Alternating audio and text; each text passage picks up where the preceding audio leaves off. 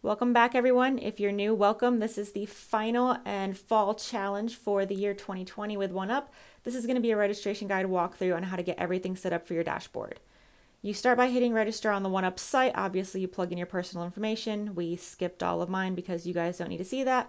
But then you just want to be honest. It's going to ask your you know, your age, your height, your weight, whatever you're weighing yourself on, if that's a gym scale or a home scale, try to keep that consistent. I still prefer to use measurements, but 1Up does want my weight, so that's why I plug it in there. And then beginner or advanced, I am more advanced in my training, but my videos will be showing the beginner side and the advanced side for this time.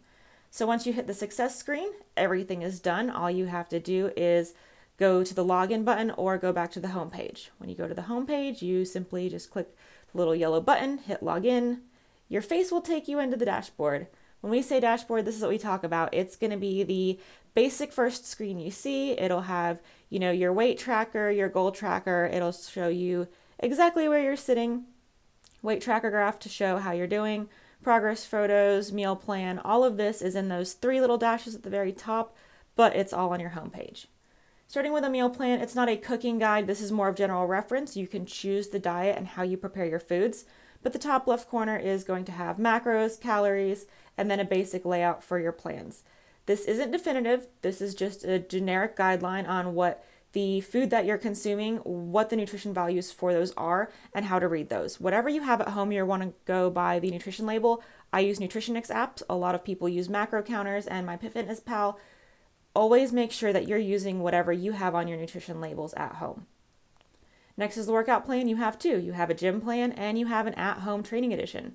The gym full body plan is going to be based off of the machine. So if you're going to a gym that you don't really understand what it is, your machine is going to have the same names as these, or you can Google them. Some of these are for standing free weights and for cable machines. Some of them for, are for the normal machines in the gym. So scrolling through that, I do all my videos based off the at home workout edition because I still don't do a lot of the gym workouts, but it's very simple layout. There's your HIIT cardio, two rounds of each one, and then it's broken up into your splits. So Monday is arm day. It goes by all your basics. It'll show you how many sets to do, how many reps to do, if you need to add in abs, if you need to add in HIIT.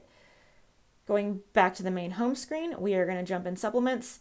You can feel free to reach out to me. I am an ambassador. I can give you discount codes but they do give everyone a guide. It describes what each supplement does. And if you click on the supplement, it takes you directly to the website with the pricing and more details on what each supplement is there for. Going into the weight tracker, super easy, obviously. We're not in the challenge, so you can't see anything, but that's where I track my weight. This is where all my pictures are gonna be. It'll show your front, side, and back week one through week eight.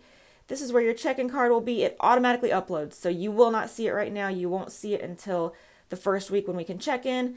And then here's your rules. What really matters is number one, please follow the rules. It can cause instant disqualification. Number two, it gives your week end dates. That is when your pictures are due.